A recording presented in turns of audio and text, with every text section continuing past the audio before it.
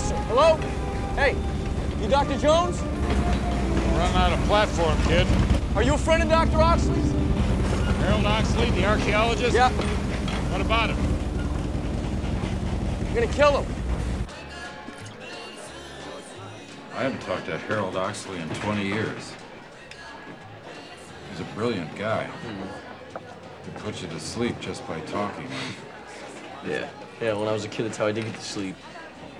Oxley's voice was better than a glass of warm milk. Know? Name's Mutt. Mutt Williams. Mutt. Yeah. What kind of name is that? It's the one I picked. You got a problem with it? Take it easy. What was your relationship to Oxley? My dad died in the war. Ox kind of helped my mom raise me. Saying somebody's gonna kill him?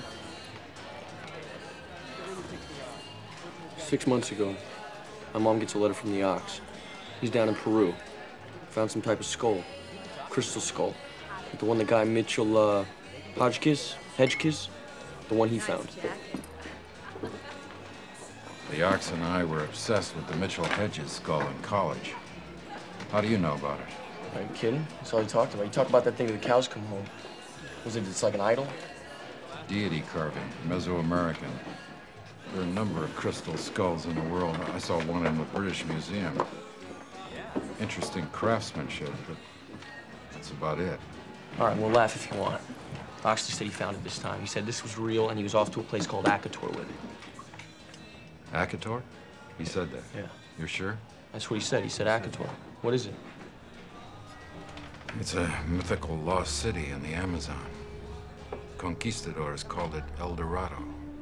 Supposedly the Ugha tribe were chosen by the gods 7,000 years ago to build a giant city out of solid gold. It had aqueducts and paved roads and technology that wouldn't be seen again for 5,000 years. Francisco de Orellana disappeared into the Amazon looking for it in 1546. I almost died of typhus looking for it myself. I don't think it exists. Why would Ox want to take the school there? The legend says that a crystal skull was stolen from Akator in the 15th or 16th century, and that whoever returns the skull to the city temple will be given control over its power. Power, right. So there's some kind of power. What's the power? I don't know, kid. It's just a story. From his letter, my mom thought the ox was off his rocker. You know, smog in the noggin, so she goes down there to find him. Only he'd already been kidnapped. Now they got her, too. Now, Ox said he hid that skull someplace, and if my mom doesn't come up with it, they're gonna kill them both. Now, she said you'd help me. Me? What's your mom's name again? Mary? Mary Williams, you remember her? We're a lot of Marys, kid. Shut up. That's my mother you're talking about. All right? It's my mother. You don't have to get sore all the time just to prove how tough you are. Sit down. Please, sit down. So if anybody can find the skull, it's you. Like you're some type of, like a like a grave robber or something. I'm a tenured professor of archaeology. Oh, your teacher. Well, that's gonna be a big help. Anyway, she called me two weeks ago from South America, said she'd escape but they were after her. She said she had just gotten a letter from the Ox, mailed it to me so I could get it to you. Then the line went dead. I opened it. I mean, it's, the thing's pointless, though. It's just, it's gibberish. It's not even English lettering. See? See those two bricks over there at the counter? I don't think they're here for the milkshakes.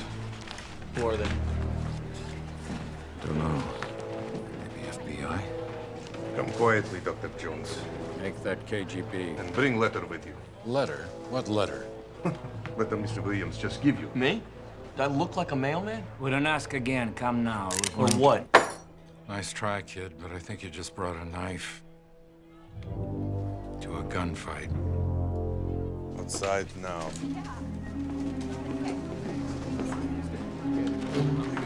Hit this guy. Who? Joe Collins hit him hard. Here, hold this. That's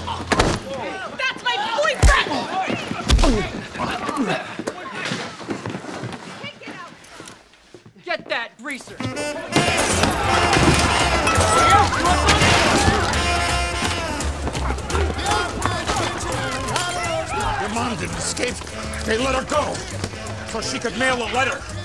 You could bring it to me and I could translate. Come on! Come on, you can Get on, Chris! Yeah!